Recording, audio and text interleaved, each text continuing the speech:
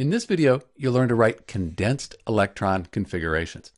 So we'll start off with an example, give you some practice, and by the end of the video, you'll be a pro at writing these condensed electron configurations. Let's start with bromine.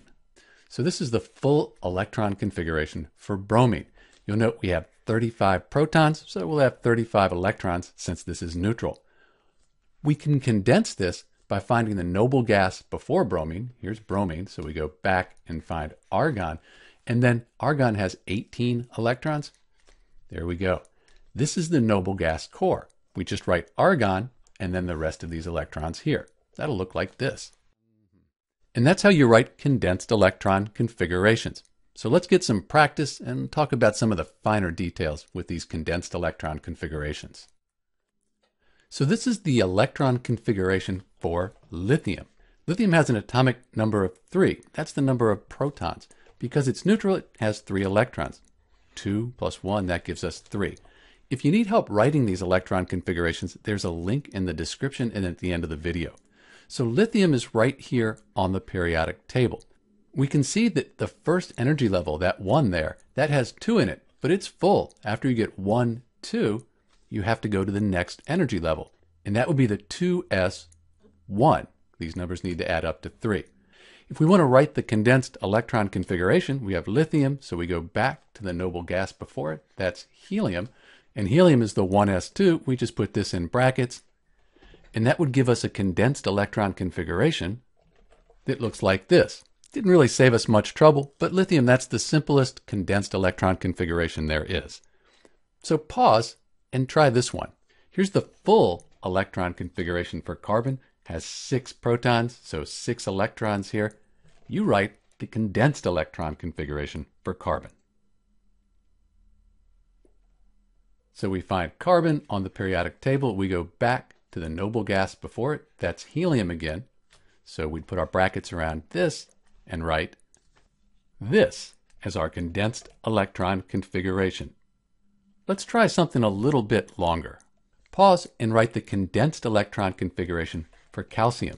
And note calcium right here, this is calcium, so you're going to go back to the noble gas before. So we're at 20, atomic number 20. We go back to 18, argon. So we'd find 18 electrons here. That would be like this. So everything in here is the electron configuration for argon. We call this our noble gas core. Here's our valence electrons. So the condensed notation, that'll look like AR in brackets 4s2. Again, these are our valence electrons. Now we're getting somewhere. This is starting to save us some time. What happens if we have an ion, though? Something like Ca2+. So when we have an ion like Ca2+, this plus, this 2 plus, means we've lost two electrons. So we're just going to take away two electrons from our configuration up here. So our electron configuration for Ca2 plus, that's just the same as argon. It's still calcium. We still have 20 protons, but we've lost those two electrons to form the calcium ion, and the actual configuration of electrons, same as calcium, very stable. But rather than just crossing this out, Let's make it 4s0. That makes it a little clearer that we've lost valence electrons.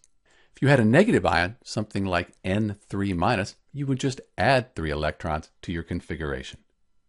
Let's try a really long one.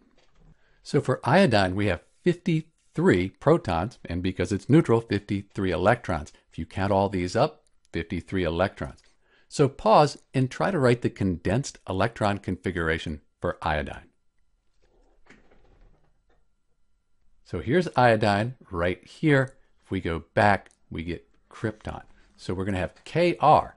Kr has 36 electrons, so we find 36 electrons here. That's right here. So we'll just write Kr in place of all this, and we end up with our abbreviated electron configuration for iodine.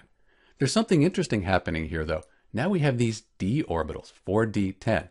So we consider all of these to be valence electrons, Except the d orbital, it's full with 10, so this doesn't usually take place in chemical reactions. When we look at our noble gases, in general, they don't react except under extreme conditions. Things like krypton and xenon, they can react because of these d orbitals. So under high temperature and pressure, sometimes you can get things like KrF2 or XeO4. So they will form some compounds, these guys down here, because of the d orbitals. All right, one last one. Write the condensed electron configuration for barium. And barium, that's right here on the periodic table. So we find the noble gas before barium is 56, 55, here we go, 54.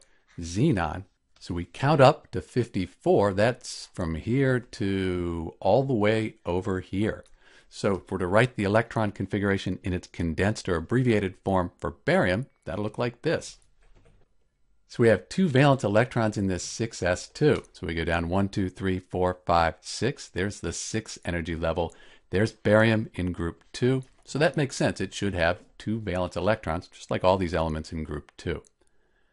So writing these condensed electron configurations, also called abbreviated configurations, it really helps us see these valence electrons clearly from all of this. And it also saves us a lot of time in not writing out this big configuration each time, when we could just write Xe6s2 for barium. This is Dr. B with how to write condensed electron configurations. Thanks for watching.